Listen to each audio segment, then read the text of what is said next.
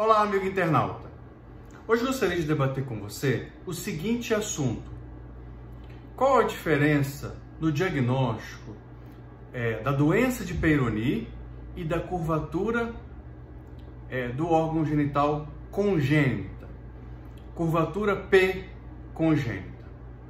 Bom, na doença de Peyronie existe uma curvatura do órgão genital masculino que apareceu é, a, a, um determinado momento da vida, por exemplo, com 30, 40, 50 anos de idade.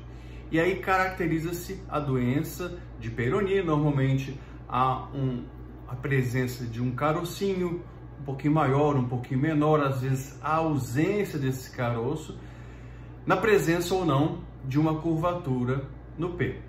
Agora, você tem a curvatura P congênita é quando o paciente já nasce com uma, uma curvatura no seu órgão é, masculino. E aí é desde quando a pessoa se reconhece como, como gente, como homem, né? E quando o, o P fica não flácido, vamos assim dizer, né? Fica com uma curvatura, ou para um lado, ou para o outro, para cima, para baixo.